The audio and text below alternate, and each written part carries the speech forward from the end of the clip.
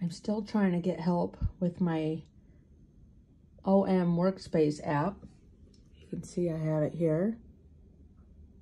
And the problem I'm having is I just uploaded this to a new laptop. I haven't adjusted anything. So I have it on original photo and the edited photo.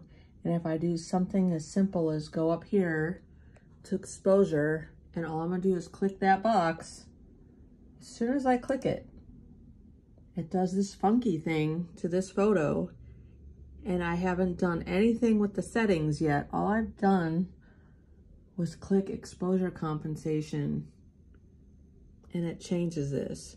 And this is set to auto. I've touched nothing else yet. You can see if I go to another photo here, just using some trashy photos, and I click here, if I go to crop, just gonna crop. All I'm gonna do is check the crop box. As soon as I do that adjustment, it changes this photo and does weird things. And I've done nothing else yet. And I can't undo it. It like, I have to back out of the program and pretend I've done nothing. And it makes a mess of this photo. So I don't know if the program is not uploaded properly. I'm missing an update. I have no idea. Is it my memory card, or not my memory card, but my graphics card on my laptop? So if I go up here, and I, not that one, go up here. This is my info.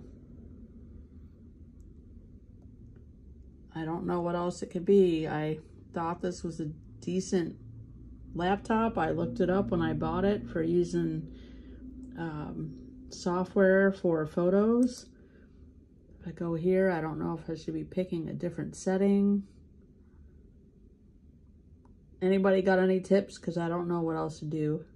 It's driving me crazy. Should I be picking one of these other settings? I can go in here. I don't know if I have the right stuff set. I've not owned a laptop in decades, like two decades. So I don't know what's new and what's current. And if I possibly chose a laptop that doesn't have a graphics card suitable for what I'm trying to do. But if you guys have any, any ideas at all, anything, I just want to edit. And again, on here, I was just trying to crop a photo and it looks like crap just hitting the crop button. So throw me some ideas, please. Thank you.